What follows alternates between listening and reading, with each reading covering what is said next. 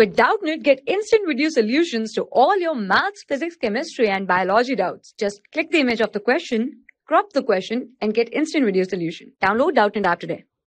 So the students, in this question, we have to find how many integer values are there between 200 and 500 which are divisible by 8. Okay.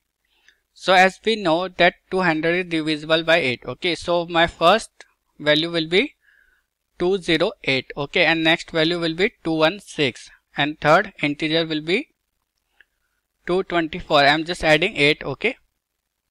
And up to the last term which is just less than 500 okay? So to 500 to find the value which is just divisible by 8 okay?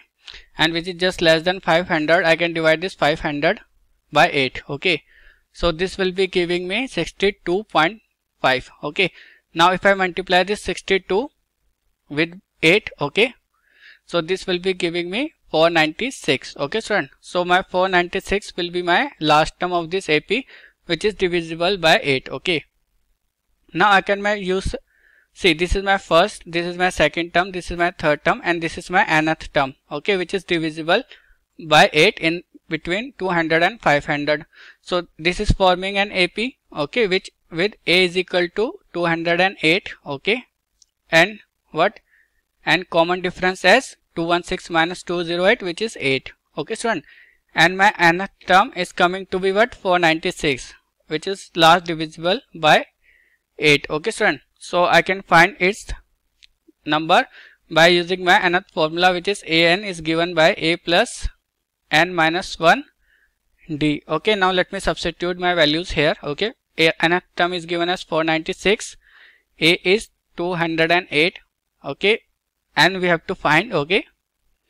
And d of this series is 8 okay. So from this i can quickly find my n value. Okay. So this will be giving me 496 minus 208 to be equal to this n minus 1 into 8 okay student.